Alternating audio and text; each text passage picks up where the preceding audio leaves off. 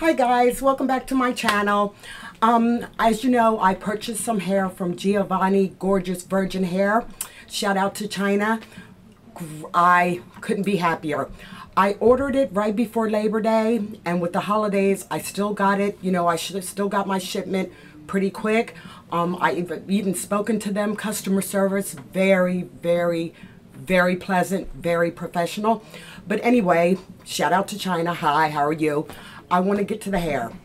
I ordered a 12 inch, a 14, and a 16. And I love it. It's the Brazilian Virgin. I got it and I co-washed it and I wasn't sure what I wanted to do as far as color is concerned. So, because I'm a dark, I like black or really, really dark brown, off black, those colors. So I decided to color it.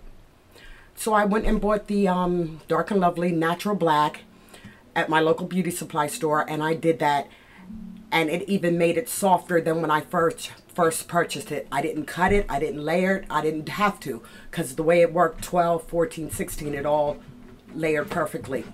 Um, all I did when it dried I rolled it and I set it overnight with some large barrel rollers and this is what I got. Beautiful. I love it. Love it, love it, love it, love it.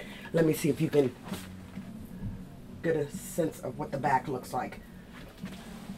So I think I'm going to stick to this for a while. I'll be giving you updates on how it's working out. I think I'll wear it like this for a while and I might do some flexi rods on it and then I might straighten it because I love variety in my hairstyles. So we'll see. And each style that I I work on, I will be showing this on my on my channel. So stay tuned so you can see it straight, flexi rotted.